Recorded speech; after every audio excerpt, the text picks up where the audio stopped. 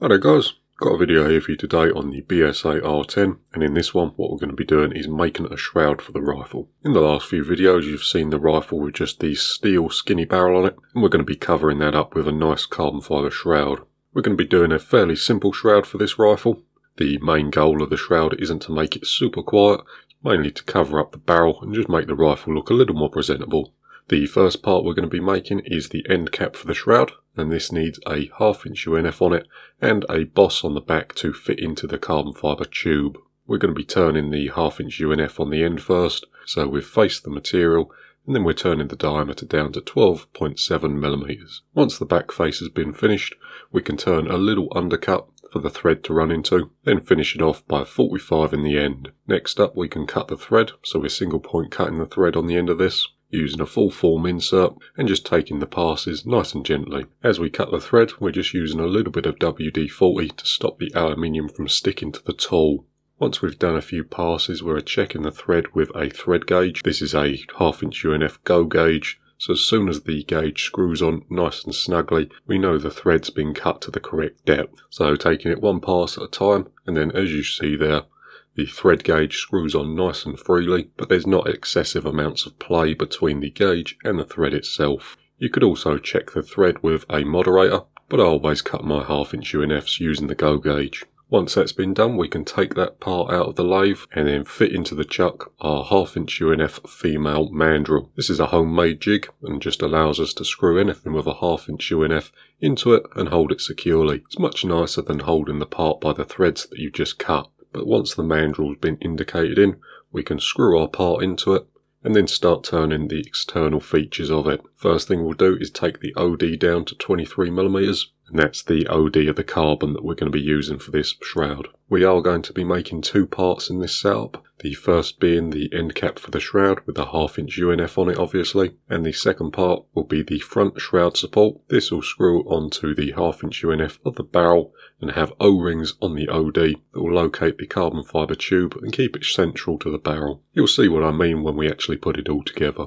The two parts that you see in here are going to be turned down to a nice tight fit in the carbon tube. The front cap is obviously going to be glued into the carbon fibre, so this needs to be a nice tight fit in it. And the front shroud support will turn again later for a nice clearance fit in the carbon. Once we've got the carbon fitting nicely, we're going to be drilling out the back to 11.5 millimeters and then threading it half inch UNF, finishing it off with a chamfer, then parting the front shroud support off. We'll finish this part off at a later date, although once that's been parted off we can finish off turning the front cap. The first thing we'll do is drill it out to 6mm and this will be the hole in the end of the shroud. This shroud's obviously for a 177 rifle which is 4.5mm so a 6mm hole in the end gives it a good amount of clearance and ensures that there'll be no clipping.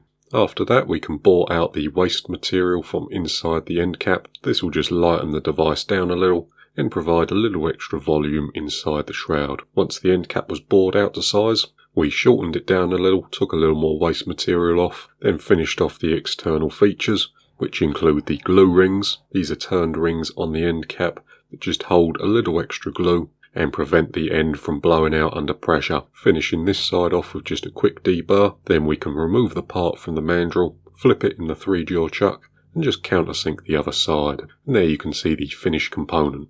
We'll glue that into the shroud a little later. Next up we're finishing off the front shroud support and to do that we're holding it on a male half inch UNF mandrel.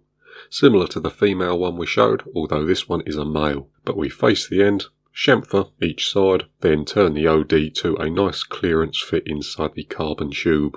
Once that's done we can start turning the O-ring grooves and they'll ensure that the carbon fibre tube stays nice and central to the barrel. The O-rings that we're going to be using for this are 1.5mm thick, and I'm just checking the fit with the carbon fibre tube. The goal is to make it a nice tight fit, but one that's easily removable. But once we've got the fit we're looking for, we can move the part over to the mill and start drilling the through holes. There are going to be 24 through holes in this part, and they allow air back through the shroud. The distance between the barrel and the carbon fibre tube is fairly thin, and we've also got O-ring grooves to worry about. So we're going to be using a nice small drill bit, 1.2 millimeters, and we're going to put a lot of holes in the device. In the video here we just show spot drilling the holes first and then the starting of the drilling. I didn't bother showing all the drilling as it's quite a long-winded process, but I've got the parts set up in the mill and we're just using the DRO to accurately locate the holes. The DRO that I'm using has a PCD function, so once you find the centre of the part, you can just specify the PCD diameter and also the number of holes that you want.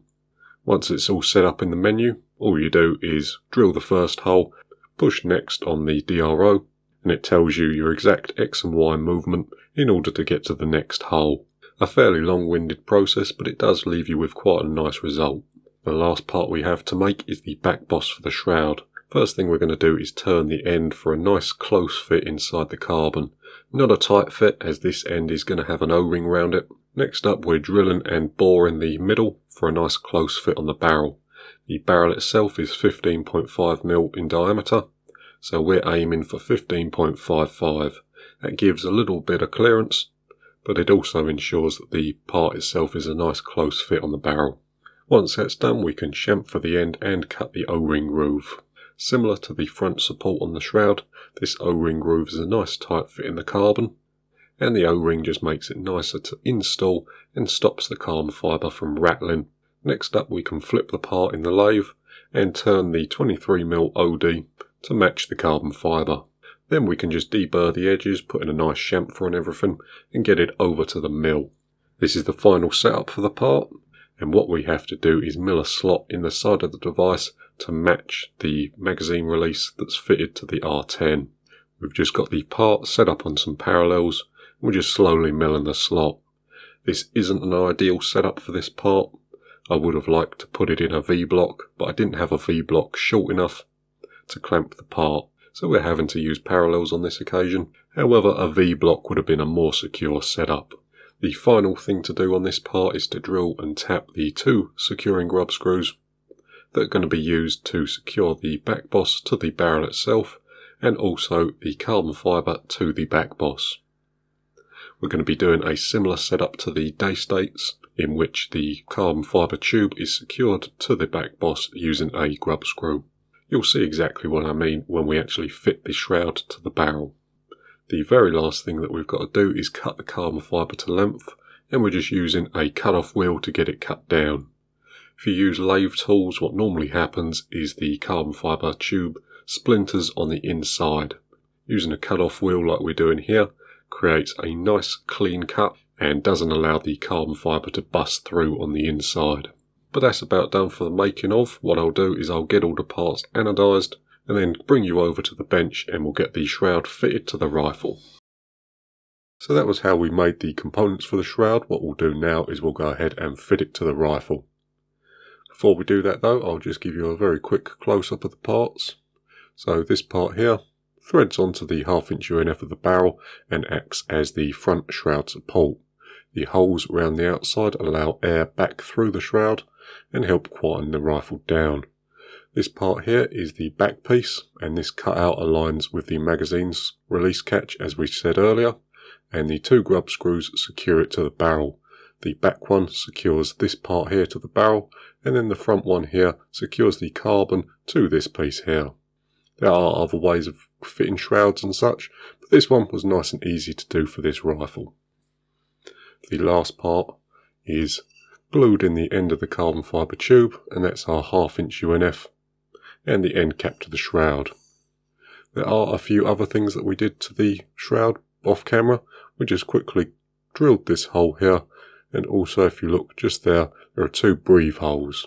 What that allows or incentivizes is the air to expand down the shroud and flow out these two holes here. What we'll do now is fit it to the rifle. First thing we'll do is we'll flip the rifle over and then slide this piece here over the end of the barrel.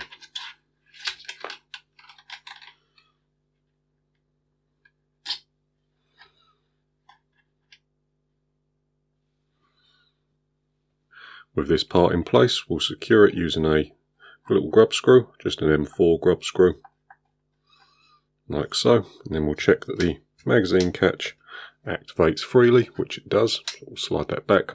Then we can go ahead and screw on the front support.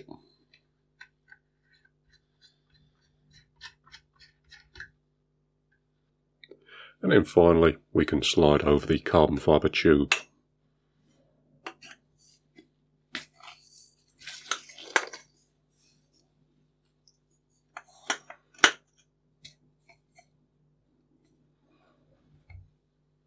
And to secure that, we'll put another M4 grub screw in the back here.